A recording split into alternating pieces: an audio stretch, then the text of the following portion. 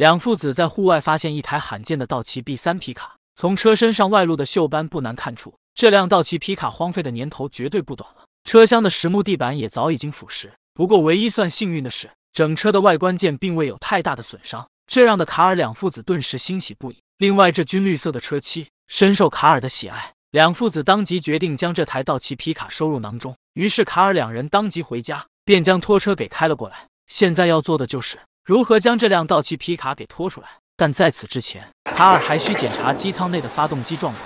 机舱内为一台直列六缸发动机，见成色还算不错。卡尔才将机盖给重新盖了回去。随后就是驾驶室的查看。只见驾驶室内如外观一般，也都是同样锈迹斑斑。但好在驾驶室内并未有太多缺失的东西，这让卡尔两父子也是越看越喜欢。可能这里很多宝子对这台道奇 B 三不是很了解。当年道奇 B 三可是能将福特 F 幺零零按在地上摩擦的存在。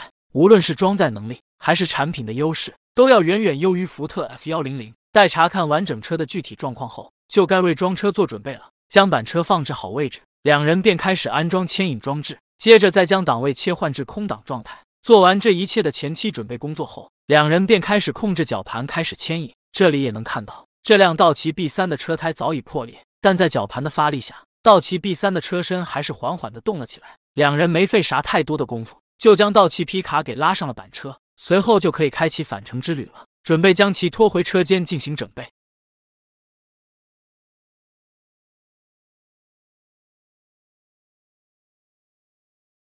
回到车间的第一时间，卡尔便驾驶着叉车，将逃回的道奇 B 三给送入车间，而这辆道奇 B 三也将在接下来的时间里完成属于它的升级。这里首先得确定机舱内的发动机是否被卡死，还能运转。于是两人便将机盖给拆了下来，只见机舱内早已布满了一层厚厚的灰尘。当查看粮油尺时，发现机油的状况也不是很理想。另外，还在火花塞的周围发现了一些杰瑞的排泄物，同时机舱内的管道线束老化也极为严重。大致查看后，两父子便开始清理机舱内的灰尘。待将灰尘清理干净后，就可以拆除火花塞了。拆下的火花塞同样略带锈蚀，显然需要后期略作处理才能再次使用。接着，卡尔又给气缸内加入了适量的油水，来起到一个润滑的作用，这样就能在接下来的尝试启动中，不至于让干燥的活塞环划伤气缸壁。当将电瓶连接上后，机舱内的发动机便运转了起来。显然，发动机在荒废的这些年里并未卡死，并且里面的压缩也远超两人的预期。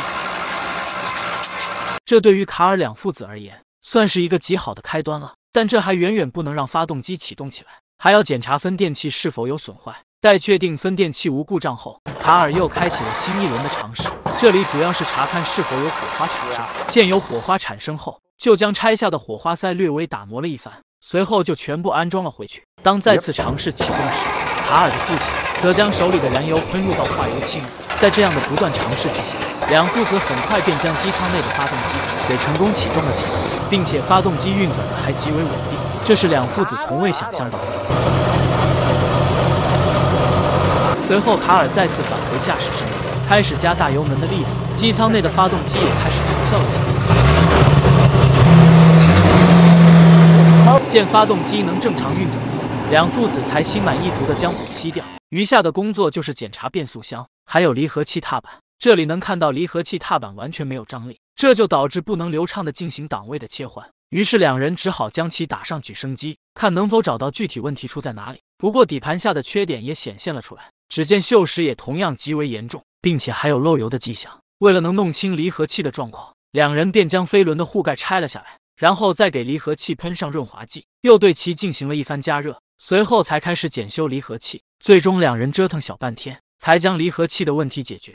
当再次将发动机启动后，随着档位的切换，后轮开始缓缓的转动起来。但在这期间，卡尔却发现制动系统好像出了问题。为了弄清楚问题出在哪里。两父子便将车胎给拆了下来，这里主要是检修刹车软管与刹车分泵和刹车线等等。其中由于各类部件老化严重，两父子只能淘了一些全新件来进行更换。当将这些新的配件更换上后，很快便将制动系统的难题解决了。接下来就可以添加新的油水了。同时，卡尔还重建了新的油路。当做完这一切后，卡尔便迫不及待地将车开出了车间。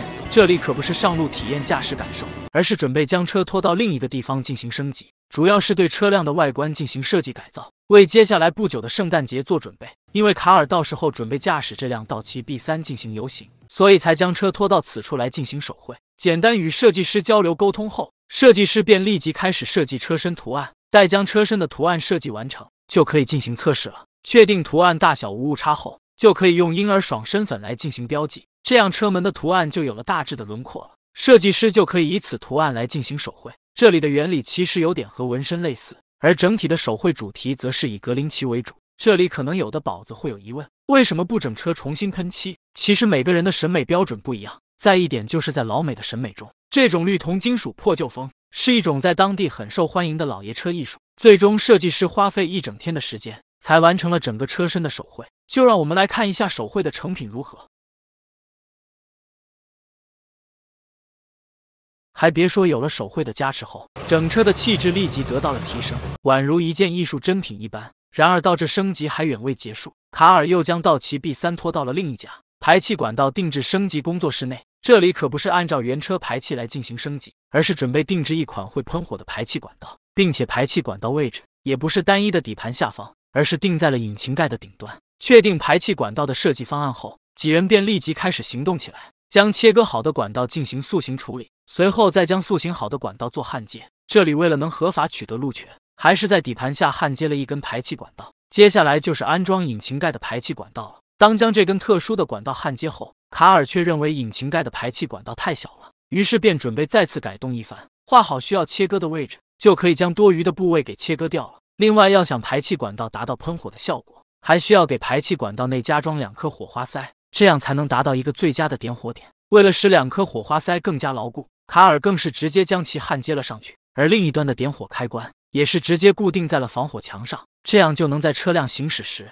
随时实施点火系统的开合了。另外还需要单独预留一个燃油箱与一个高压燃油泵，以此来给排气管道内的火焰提供燃油供应。同时，老化的车胎也没必要存在了。卡尔则是直接将其拆了下来，拿出了提前准备好的大号轮毂，两父子分工明确，合力将新的轮毂给装了上去。接着就是处理车厢腐烂的木板。由于这些木板腐蚀严重，所以拆卸起来也是极为轻松。两人很快便将车厢拆了个干净。随后就是新木板的测量切割。为了延长车厢木板的使用寿命，卡尔还特意给切割好的木板做了简单的上漆处理。其实这里要是做碳化处理的话，想来效果应该会更完美一些。待木板的漆面晾干后，就可以将木板一一安装上车了。由于有原车的固定饰条，所以在安装时也未遇到太大的难题，很快就完成了车厢的改造。就让我们来看一下这台道奇 B 三的最终成品。随着启动钥匙的拧动，前大灯立即就亮了起来，同时机盖上也喷出了大量的火。这里不得不承认，老外是真的会玩，并且这辆道奇 B 三还具有能够正常上路行驶的路权，这实在让屏幕前的我们不得不为之感到惋惜。只希望我们也能在不久之后，能拥有属于我们自己的汽车文化。而这辆车无论是在什么地方，也都绝对是人群中的焦点。无论是道奇 B 三的经典外观，还是卡尔在车身上的改装升级，让得这台道奇 B 三成为了场中的独一无二的存在。好了，今天这辆道奇 B 三就到此结束了。那么宝子对这种绿铜金属风的设计，你们还满意吗？咱们评论区见。